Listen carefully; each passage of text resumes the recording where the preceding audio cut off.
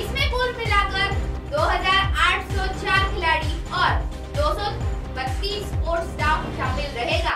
इसमें पुरुषों के 16 खेल शामिल रहेंगे। तो वही महिलाओं के 12 खेल शामिल रहेंगे। महाराष्ट्र राज्य पुलिस क्रीड़ा स्पर्धा में कुल आठ परिक्षेत्र, चार पुलिस आयुक्तालय व प्रशिक्षण संचालय ऐसे कुल तेरह संघ शामिल होंगे।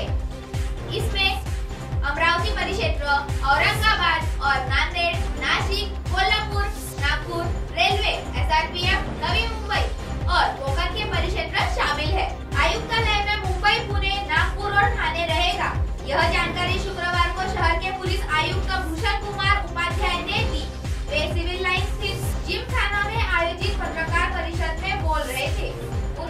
इस दौरान जानकारी देते हुए बताया कि इसमें जूडो हॉकी